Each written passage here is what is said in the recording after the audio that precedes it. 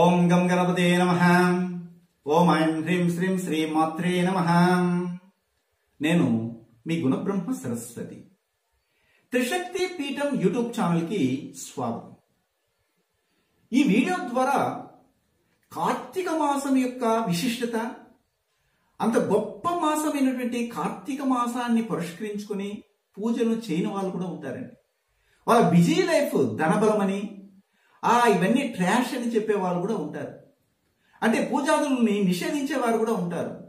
అలాంటి వారికి ఎలాంటి గతులు సంభవించబోతున్నాయి? కొంతమంది ఇళ్ళలో సాలగ్రామం ఉంటుందండి.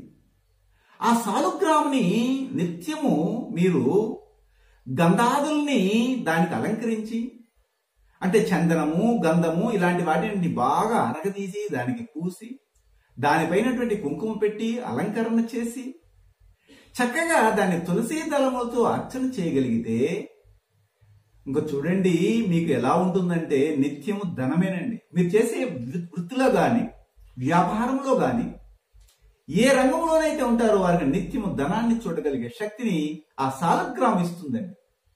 చాలా మంది ఇళ్ళల్లో ఎక్కడికైనా వెళ్ళినప్పుడు తప్పనిసరిగా తెచ్చి పెట్టుకుంటారు. లేదా ఎవరైనా ఒక గొప్ప ఋషి పుంగులో లేకపోతే మునులో సాధువులో కూడా మీకు ఇలాంటి సాలుగ్రామాల్ని ఇచ్చుంటారు. వాటన్నిటిని తీసుకెళ్ళి పూజలో పెట్టి చేస్తుంటారు. కానీ ఈ కార్తీక మాసంలో ప్రతినిత్యము ఆ యొక్క సాలుగ్రామానికి తప్పనిసరిగా గంధంతో అలంకరించి కుంకుమ పెట్టి తులసి దళాలతో పూజించాలండి. ఇంతకుముందు నేను చెప్పాను వీడియో ద్వారా ఈ యొక్క కార్తీక మాసంలో విష్ణువుని తులసి మాలతోనూ తులసి దళాలతోనూ పూజించాలి. సహస్రనామాలు చదవాలి విష్ణు సహస్రనామాలు అని చెప్పాను. అలాగే శివుని పూజించేటప్పుడు జిల్లేడు ఆకులతోనూ జిల్లేడు పూలతోనూ పూజించడం వల్ల ఐశ్వర్య వృద్ధి కలుగుతుందని చెప్పాను. అదేవిధంగా ఇక్కడ సాలుగ్రామాన్ని నిత్యము తులసి తలముతో పూజించుతూ మీ యొక్క కోరికలను సంకల్పంగా చెప్పుకోగలిగితే చక్కటి ఫలితాలు కలుగుతాయి. కొంతమంది ఉంటారండి. ఏ మనిషి అయితే ధనబలంతోనూ అహంకారముతోనూ బుద్ధి మాంద్యముతోనూ ఈ కార్తీక మాసాన్ని విస్మరించి పనికి మాలని పనులు చేస్తూ ఉంటాడు. మరుజన్మలో వారు కుక్కలా పుడతారు అని చెప్తుంది కార్తీక పురాణంలో ఒక విషయాన్ని మనం కులంకషంగా చదివితే.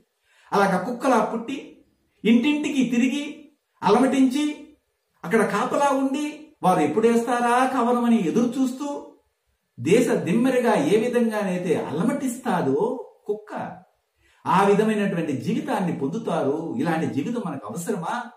మన హిందూ ధర్మంలో పుట్టి సంస్కృతి సాంప్రదాయాల్ని ఆచారాల్ని చక్కగా కలిగి ఉండి మనం ఎందుకు ఉపయోగించలేకపోతున్నామని అప్పుడు బాధపడడం కంటే ఇప్పుడే ఇక్కడ ఉన్నటువంటి కార్తీక పురాణ గాథల్ని మనం అర్థం చేసుకుని గాని చదవగలిగి దాన్ని గాని అవగాహన చేసుకుని మనము దాటిని ఆచరించగలిగితే ఇహములోనే స్వర్గలోక ప్రాప్తిని స్వర్గలోకంలో ఉన్నటువంటి సుఖశాంతులని ఇక్కడే పొందగలుగుతున్నాము అని చెప్తుందండి కార్తీక పురాణం అయితే ఇక్కడ మనం చేయవలసింది ఏమిటి అంటే చక్కగా నాగదేవత అర్చన కానీ అలాగే శివదేవత అర్చన కానీ విష్ణుదేవత అర్చనలు కానీ ఇవన్నీ కూడా ఈ కార్తీక మాసం విశేషమైనటువంటి ఫలితాలని మనకు అందజేయబోతున్నాయి. కనుక మరుజన్మలో ఉత్తమ గతులను పొందడానికి ఇప్పటి నుంచే మనం ఒక విధమైనటువంటి ఫౌండేషన్ వేసుకున్నాం.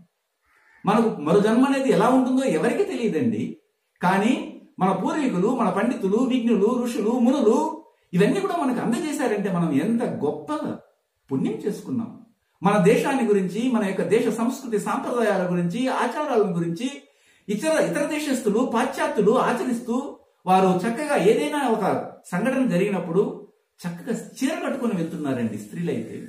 మగవారైతే ధోతి సాంప్రదాయ బట్టలను ధరించి కుర్తా లాంటివి ధరించి చక్కగా సాంప్రదాయాన్ని మనకి ఫోటోల ద్వారా తెలియజేస్తున్న వాట్సాప్ లోను ఇలాగ మనం చూసినటువంటి ఫేస్బుక్లో కూడా కనబడుతున్నాయండి. మీరు గమనించండి. మనం ఎందుకండి వాటి సాంప్రదాయాల్ని దూరం పెట్టామంటే ఇవన్నీ కూడాను నక్కను చూసి అదే చెప్తాడు పులి చూసి నక్క వాత పెట్టుకున్న రకం అయిపోయిందండి.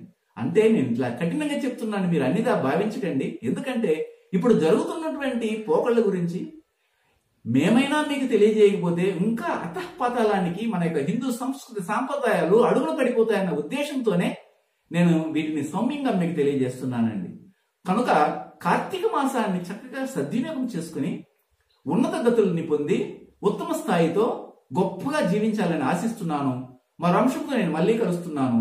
అయితే మా యొక్క త్రిశక్తి పీఠంని అలాగే త్రిశక్తి భక్తి యూట్యూబ్ ఛానల్ని సబ్స్క్రైబ్ చేసుకుంటూ దాని పక్కనే ఉన్న గంట సింబల్ నొక్కండి. దానివల్ల మేము పెట్టే వీడియోలు వెంటనే మీకు చేరుతాయి. చక్కగా వాటిని ఆచరించండి. మన యొక్క సంస్కృతి సంప్రదాయాలని షేర్ చేయండి. అనేకమైనటువంటి వీడియోల ద్వారా మేము తెలియజేసే విషయాలు అందరికీ ఉపయోగపడుతుందని నేను భావిస్తున్నాను. మరో అంశంతో కలుస్తాను. సర్వే జన సుఖినో భవంతు. శుభం భూయాత్.